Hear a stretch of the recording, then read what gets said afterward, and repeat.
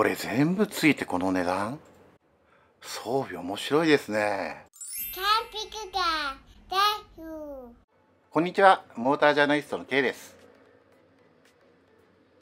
今回は直流系ブランドで知られる JPN のエブリー K キャンパーキットをレビュー。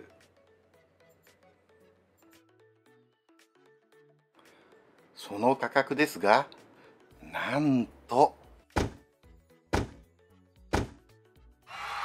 31万3000円です。やばいです。熱いです。この価格にはクルージングキャビネットと名付けられた家具類はもちろん。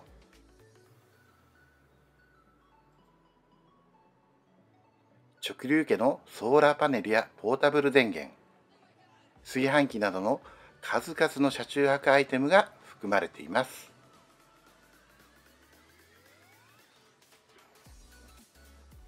まさにフル装備。このキットさえあればすぐにキャンプに出かけられる仕様です。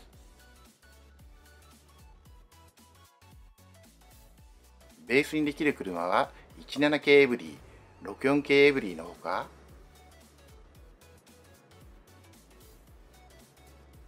現在は新型トレイベースも開発中とのことです。ベッドマット平君はインフレーター式電動の空気入れも付属しています。サイドのキャビネットはサービスホールを使って固定するため車体が傷つかない設計。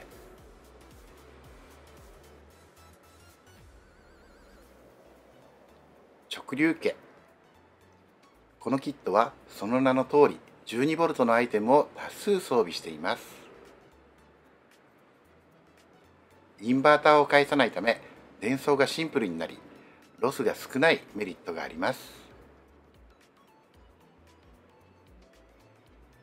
電源になるのはオリジナルのポータブル電源みつるくんです。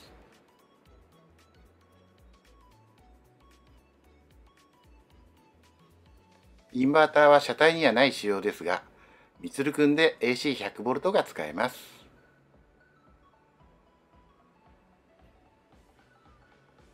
キャビネット下部には扉付きの収納があります。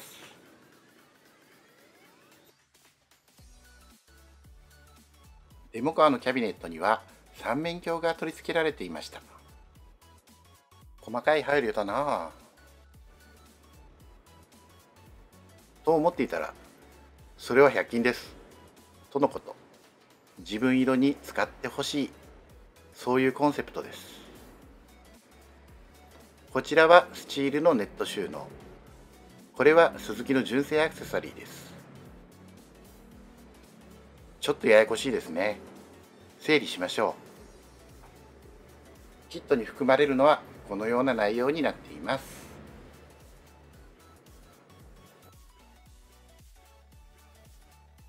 それぞれの装備にユニークなネーミングがついているのもこのキットの面白いところ。ちらは直流家としてはレアな DC12V 用埋め込み式換気扇という普通の名前のアイテムですがパワーを60段階に調整できる優れものの小型ベンチレーターです。ではいろいろパーツを見ていきましょう。直流家ならではの DC パーツ。こちら商品名はご存知の方も多いかと思います。DC12V 炊飯器のたけるくんです。みつるくんかシュガーソケットから電源を取り米を炊くことができます。炊飯は約30分。10分ほど蒸らすと出来上がります。こちらは鈴鹿さん。小型の水冷扇風機です。USB から充電して使えます。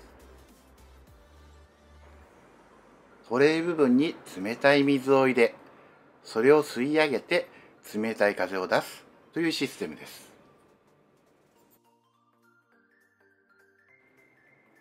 照明もついています。ナイトシーンをムーディーに彩ります。光らせるとこうなります。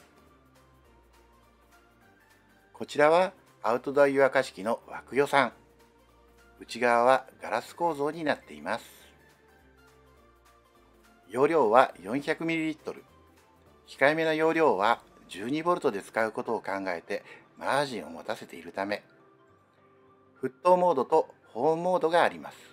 消費電力は100から 110W 程度。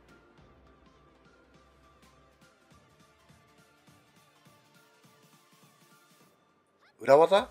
こんなことも可能。2連ソケットでたけるくんと枠予算を同時に使うこともできます。一見簡単なことのようですが炊飯や湯沸かしは電力を大量に消費するので実はなかなかの荒技です。これを可能にしているのはメインバッテリーから 30A を引き出す回路。エンジン始動の必要があるため場所を選びますが万一の災害時などにも使えます。シンプルで使いやすい電装。標準装備の折りたたみ式ソーラーパネルソラさん。球面パネルの 60W 仕様。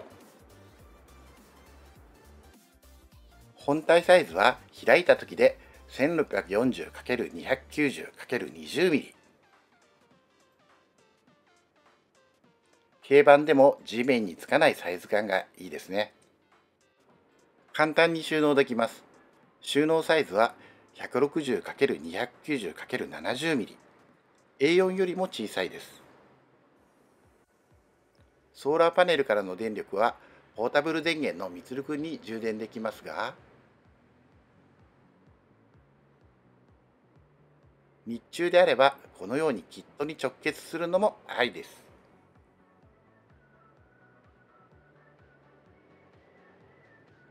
すると太陽光発電の電力で車内の電装を使うことができます。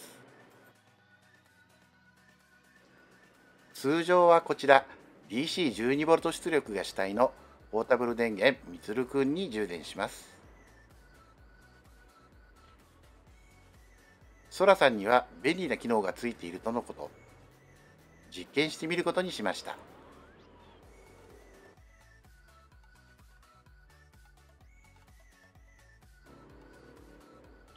裏面のこの部分ポケットになっているんですが USB の差し込み口があります。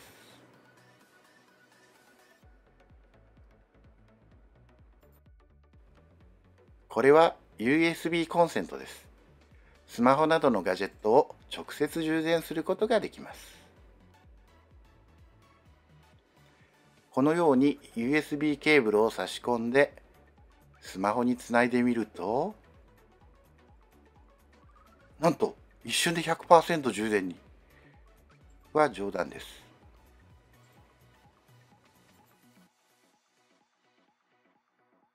ポータブルバッテリーに接続するときには付属のケーブルをパネル端子に差し込みます。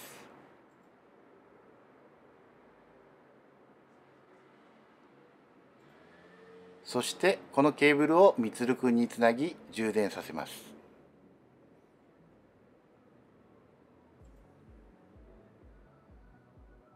これも一瞬で満充電にはなりませんが最大効率時は7時間で充電 OK です。サイドウィンドウに何かついていますね。これは何でしょうか？これはエブリー用の換気扇。その名もファンファン。スイッチはここ。純正みたいでいいですね。作動させてみましょ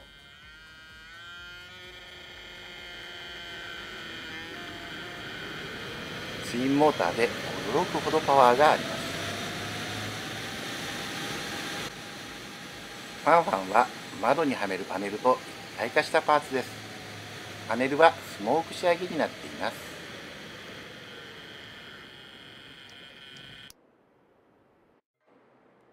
プライバシーを守り窓からの冷気もシャットアウトしてくれるブラックシェード。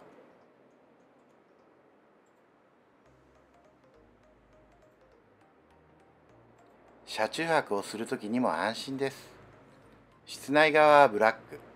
表側はスモークシルバーです。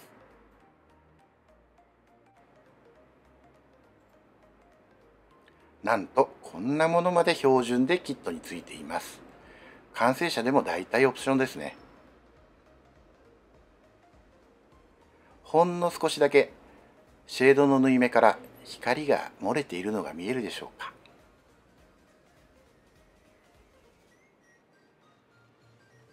これ室内が暗くなりすぎないようにわざわざこのデザインになっているんです。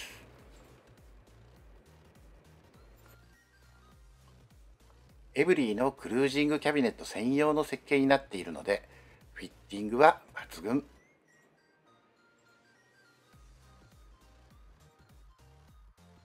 17系エブリーの場合デュアルブレーキサポート車用レーダーブレーキサポート車用もあります。直流家のスイッチ付きリアゲートランプ。これもつけておくと便利ですね。17系64系エブリーを気軽にキャンピングカーに変身させるキット。JPN のクルージングキャビネット。12V に特化した装備群はユニークで個性的です。今回紹介したフルバージョンのほか純粋に車中泊キットだけでいい。そういうユーザーには19万8000円の家具だけのキットもあります。このチャンネルでは旬のキャンピングカー情報をお届けしています。チャンネル登録と高評価をよろしくお願いします。